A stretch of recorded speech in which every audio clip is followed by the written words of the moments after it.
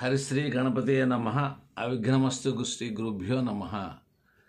వేద పండితులకు బ్రాహ్మణోత్తములకు బుధజనులకు హైందూ ధర్మములకు పాటుపడేటటువంటి వారందరికీ శిరస్సు వంచి నమస్కరిస్తున్నాను. ఇప్పుడు చెప్పబోయేటటువంటిది నాకు జరిగినటువంటి ప్రాక్టికల్ అనుభవం అనేటటువంటిది మీకు చెప్తున్నాను అనమాట అంటే బలమైనది మధ్యస్థమైనది బలహీనమైనది అనేటువంటిది కర్మఫలాలు అనేటటువంటి మూడు ఉంటాయి మనస్సులో మనం ఆలోచించాం అది ఎవరికి తెలియదు జరగకపోవచ్చు అది. మాట్లాడాను నేను. అంటే మనస్సు ప్లస్ మాట రెండు పనిచేసాయి అనమాట అప్పుడు జరగడానికి అవకాశం ఉంది. అట్లా కాకుండా యాక్షన్లోకి వెళ్ళిపోయాను అప్పుడు బలంగా జరుగుద్ది అనమాట అందువలన రమణ మహర్షి గారి ఆశ్రమం దగ్గర ఒక సూక్తి రాసి ఉంటుంది అనమాట ఏమనంటే ఏది జరగాలనుందో అది జరగక మాందో ఏది జరగకూడనుందో అది అది జరగ అది ఎవరు చేయలేరు ఈశ్వరుడు కూడా చేయలేరు ఇట్లా రాసి ఉంటుంది అనమాట అది కరెక్టా? వివేకానందులు ఉన్నారు. జ్యోతిష్యాన్ని ప్రాధాన్యత తక్కువ ఇచ్చారు. దయానంద సరస్వతి ఉన్నారు. జ్యోతిషాన్ని ప్రాధాన్యత తక్కువ ఇచ్చారు. అంత మాత్రం మీద జ్యోతిష్యం లేదా అంటే జ్యోతిష్యం ఉన్నది. కనుక ఒక రోజున ఒక ఐఎఫ్ఎస్ ఆఫీసర్ గారు మధ్యప్రదేశ్ అనమాట అప్పుడు రాష్ట్రం డివైడ్ కాల. ఇంకా ఛత్తీస్గఢ్. ఆ మధ్యప్రదేశ్లో ఆయన జొన్నలగడ్డ అనంత శర్ అనంత చంద్రశేఖర్ రావు అని చెప్పని ఆయన ఐఎఫ్ఎస్. అతను నాకు పరిచయం. తొంభై నాలుగులో నేను వాస్తు రాసిన తర్వాత వారు ఆ బుక్ చదివి పంపించి నాకు వారు ఇట్లా రావాలండి నేను జార్సుగూడ ఒరిస్సా బార్డర్లో జార్సుగూడ దగ్గర నుంచి ఉంటాను మధ్యప్రదేశ్లో. అని చెప్పాను. నేను బిలాస్పూర్ కూడా వాస్తుకి వెళ్ళాను వారికి రెండు మూడు సార్లు. ఆ తర్వాత వారు నన్ను రమ్మన్నారన్నమాట వాస్తుకి. నేను చెప్పాను ఈ నెల నాకు దొంగతనం జరగటం ఉందండి జాతకంలో. అందువల్ల నేను ప్రయాణాలు చేయదలుచుకోలేదు.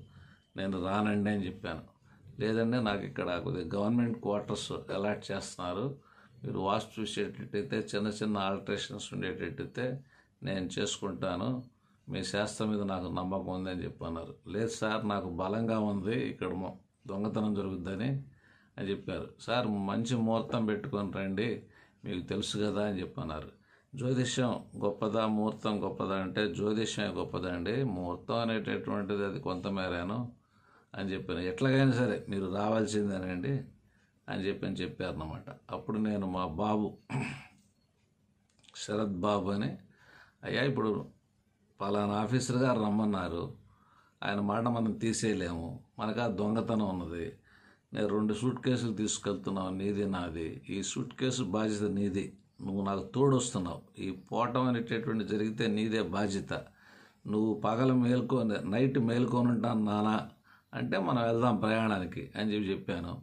నేను మేల్కొని ఉంటాను నానా తప్పకుండా అన్నాడు. జనరల్గా ఆ కుర్రవాడు నైట్ కొంచెం మేల్కొనే వ్యక్తి అనమాట సరే మేము బొకారో ఎక్స్ప్రెస్ ఎక్కాము. ఎక్కి ఆ టిట్లగర్ అనే దగ్గరికి వెళ్ళేటప్పటికి అక్కడ అనుకుంటున్నారు దొంగతనాలు అనేటటువంటిది ఏరియాలో ఎక్కువ జరుగుతూ ఉంటాయని చెప్పని. మా బాబు చెప్పా అరే ఇది ఏరియాలు ఎక్కువ జరుగుతుంటాయంట గుర్తుపెట్టుకొని ఆ జార్సు కూడా వెళ్ళాము ఆ హిల్ ఏరియాస్లోకి వెళ్ళాము. ఆ యొక్క వాస్తులు అవన్నీ చూసుకున్నాము. ఇక మళ్ళీ రిటర్న్ ప్రయాణంలో మళ్ళీ వస్తున్నాం. విపరీతమైన చలి. అది డిసెంబర్ మాసం జనవరి మాసం అనుకుంటాను. విపరీతం సరి. ఇది నైంటీ సిక్స్ నైంటీ సెవెన్ ఆ ప్రాంతాల్లో అనమాట కనుక జనం కూడా తక్కువ ఉన్నారు అనమాట ఆ ట్రైన్లో. అయ్యా నువ్వు మేల్కొని ఉంటావా? నన్ను మేల్కొని ఉండమంటావా? రెండు రెండు రెండు సూట్ కేసులకి బాగా లావాటి లాక్ చైన్ తీసుకెళ్ళాం. దొంగతనం జరుగుతుందని నమ్మకంతో. తీసుకెళ్తే పైన పడుకున్నాడు బాబు. నేను మేల్కొని ఉంటాను అని చెప్పి అన్నాడు. ఆ చలికి ఎవరికైనా నిద్ర రావాల్సిందే. కానీ నేను పడుకున్నాను ఇద్దరు పోలీసులు వచ్చారు ఎదురుగా కూర్చున్నారు అనమాట ఆ బాల మీద సైడ్ బాల మీద. కనుక పోలీసులు కూడా ఉన్నారు కదా కొంత సేఫ్టీ ఉంది కదా అనుకున్నాను అనమాట కొంతసేపటికి టక్కని సౌండ్ వచ్చింది. నేను గబక్కన లేచి చూసేసరికి ఆ పోలీసులే దొంగలు అనమాట వాళ్ళిద్దరూ ఆ సూట్ ఆ సూట్ కేసు తీసుకెళ్ళి ఆ పక్క కంపార్ట్మెంట్కి వెళ్ళి షట్టర్ మూసారు అంతవరకు చలిగా ఉండి మేము పడుకొని ఉన్నాడు బాగా చలి అనమాట దెబ్బకి చలిపోయింది అనమాట ఈ దొంగతనం జరగానే ఇంకా బాబుని లేపాను. చూసి ఏదేలాంటి ఏం కనపడలే.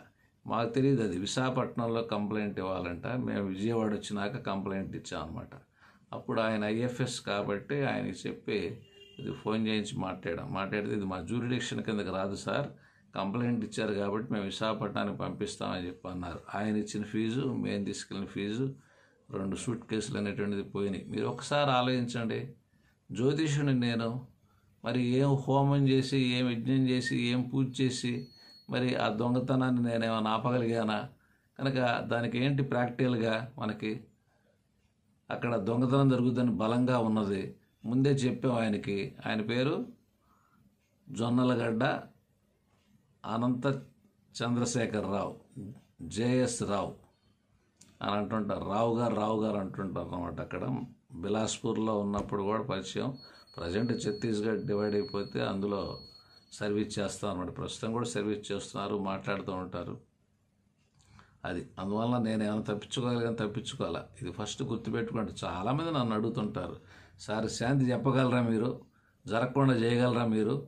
అని చెప్పి చాలామంది అడుగుతుంటారు అనమాట జ్యోతిష్యం అనేటటువంటిది ఏంటంటే ఒక ఋషిలా ఉండేటట్టయితే జీవన విధానం ఎలా ఉండాలి అనేటటువంటి దానిలో ఒక గుహలో ఉన్నారు కొండ గుహలో. మిమ్మల్ని ఏ గ్రహం ఏడిపిస్తుంది? నేను కూడా ఆ రోజున ప్రయాణం చేయలే నాకు దొంగతనం జరుగుద్దా?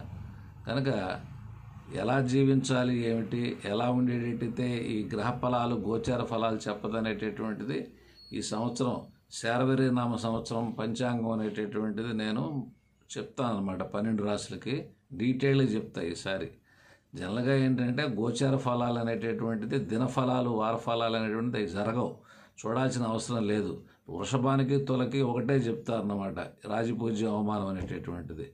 ఎందుకంటే ఈ రెండింటికి ఒకటే అవి జరగవు అనమాట ఆల్రెడీ నేను లోగడ కూడా చెప్పాను అనమాట అందువల్ల ఇక్కడ ఈ ఈ గోచారం కూడా మనకి ఇంకా చాలా ఉన్న దానిలో. మూడో సపోజ్ మూడింటి సూర్యుడు ఉన్నాడు.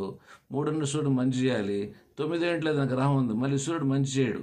దాని వేదదోషం అని చెప్పని అంటాం అనమాట ఇది క్రిటికల్ జ్యోతిషం క్రిటికల్ జాతచక్రంలో ఏమున్నాయో అవి బలంగా జరుగుతాయి. గోచారం ఏమిటి అంటే జరగదని నేను అన్న సంవత్సరం ఫలితాలు అయితే మనం చూసుకోవచ్చు. దినఫలాలు వార ఫలాలు టైం లేక పిచ్చెక్కి చూడటం అనమాట ఎందుకని జరగవు పెట్టవు అందరూ దినఫలాలు వారఫలాలకి చూస్తుంటారు ఎక్కువగా. Hundred K two hundred K అని చెప్పి చూస్తుంటారు అనమాట మీరు చూసుకోండి కావాలంటే. వాళ్ళు పొగుడుతుంటారు. వాళ్ళు గోచారాలు చెప్పరు. నీకు రాజకీయ నాయకులకి ఎట్లా మనకి మా స్టూడెంట్స్కి ఎట్లా ఇట్లా చెప్తుంటారు అనమాట ఎవరికైనా ఒకటే ముందు ఆడ గ్రహం బాగుంటే ఆ రాశి వాళ్ళకి డెబ్బై కోట్ల మంది ఒక రాశిలో ఉంటారు. డెబ్బై కోట్ల మందికి ఒక రాశిలో ఎట్లా జరుగుద్ది?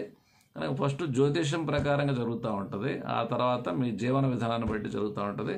అవి తప్పించుకోవాలంటే ఎట్లా ఎట్లా అనేది నేను రాశి ఫలాలు అనేది ఈసారి డీటెయిల్గా చెప్పినప్పుడు వీలైనంతవరకు అవి మీరు విందురుగా అన్నమాట కనుక ఇవాళ నాకేం జరిగింది ఇప్పుడు? దొంగతనం జరుగుద్దని నాకు తెలిసి పలానా నెలలో నేను మా బాబుని తీసుకెళ్ళి నువ్వే చూడవయ్యా అని చెప్పి చెప్పిన నేను ఆ దొంగతనాన్ని నేను ఆపలేకపోయా. అందువల్ల చాలామంది నన్ను అడుగుతుంటారు. అంటే రెమెడీ చెప్తారా?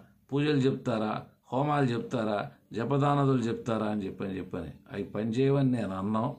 అది బలహీనమైంది మధ్యస్థమైంది బలమైంది. మనో వాక్కు కర్మేణ. దృఢకర్మ అదృఢకర్మ కర్మ కర్మ మూడు రకాలు. దృఢకర్మ భగవంతుడు కూడా తప్పించలేడు అనమాట అది. అందువల్ల ఇప్పుడు ఆయుష్ ఉంది ఎండింగ్ డేట్ ఉంది. నేను మార్చేస్తానండి నేను వెయ్యేళ్ళు బతికిస్తానంటే మనం ఎట్ట నమ్ముతాం? మనం నవ్వలేం. ఇంకేదైనా రూట్ ఉంటే ఉండొచ్చు వెయ్యేళ్ళు బతకటానికి. అందువల్ల ఇది బలమైనవి జరుగుతూ ఉంటాయి నాకు జరిగింది కాబట్టి బలమైనటువంటిది. నేను ఎంతమేర తప్పించుకుంటానంటానికి మీకు తెలిస్తే మీకు అవగాహన అవుద్దనమాట ఈ పూజలు ఈ జపాలు ఈ హోమాలు ఈ ముహూర్తాలు ఎంతమేర మనం నమ్మాలి? ముహూర్తాలు నేను నేను లేదని అన్నాం. పూజలు ఇవన్నీ తప్పించుకోవచ్చు? ఏమిటంటే బలహీనమై మధ్యస్థమైనటువంటి మనం తప్పించుకోవచ్చు. బలమైనటువంటి మనం తప్పించుకోలేం. బలంగా ఉన్నప్పుడు మనం ఆ ప్రయాణానికి బయటికి వెళ్ళకుండా అది ఆపేసేయాలి. అప్పుడు ఆటోమేటిక్ నేను వెళ్ళలేదనుకోండి అది నా మాట అంటే ఆయన మాట తీసేలాగా నేను వెళ్ళాను.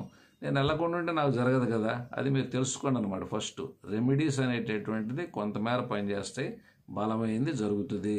కనుక దానికి ఎట్లా ఎట్లా ఏంటి అనేటటువంటిది నేను తర్వాత విషయ తర్వాత మీకు ఆ గోచార ఫలాలు చెప్పేటప్పుడు ఏమిటి శాంతి అనేది చెప్తాను అనమాట మంగళం మహత్ శుభం భూయాత్.